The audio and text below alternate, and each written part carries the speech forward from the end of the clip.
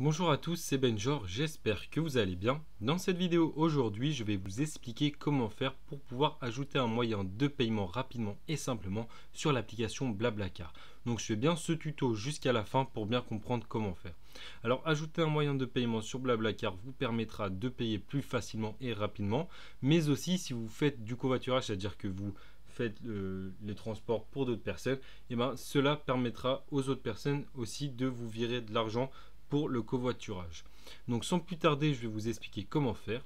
Alors c'est très simple, vous allez sur l'application Blablacar. Ensuite, une fois arrivé sur l'application, vous allez accéder à votre profil. Pour ce faire, c'est très simple. On va cliquer tout en bas à droite sur profil. Généralement, il y a votre photo de profil. On clique dessus. On arrive sur la partie à propos de vous.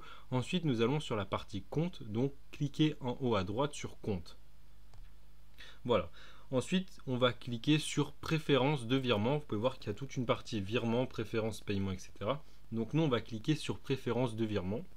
On clique et là, on arrive dans la partie compte en banque, donc compte bancaire.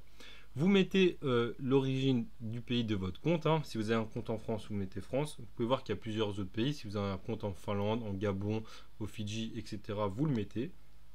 Ensuite, vous devez mettre le nom du titulaire du compte, donc votre prénom ou votre nom. Le nom de l'agence, c'est-à-dire la banque dans laquelle vous êtes, si vous êtes chez Boursorama, LCL, etc. Votre IBAN et votre BIC. Donc votre IBAN et votre BIC, si vous ne savez pas où il est, il peut être sur l'application de votre banque. Hein. Voilà, il y a une partie IBAN BIC ou sur vos factures ou sur vos relevés bancaires. Voilà. Et ensuite, vous n'aurez plus qu'à enregistrer. Vous recevrez un mail ou un message comme quoi vous avez bien enregistré un compte en banque sur l'application Blablacar. Et vous devrez, entre guillemets, dire que c'est bien vous fait.